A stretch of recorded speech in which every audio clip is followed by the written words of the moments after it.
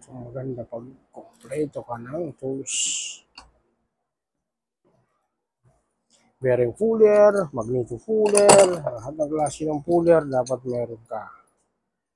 Kasi pag medyo matigas tanggalin, eh, mahirap. Mahirapan tanggalin. Stick bearing dito. Sure, pagkita na rin.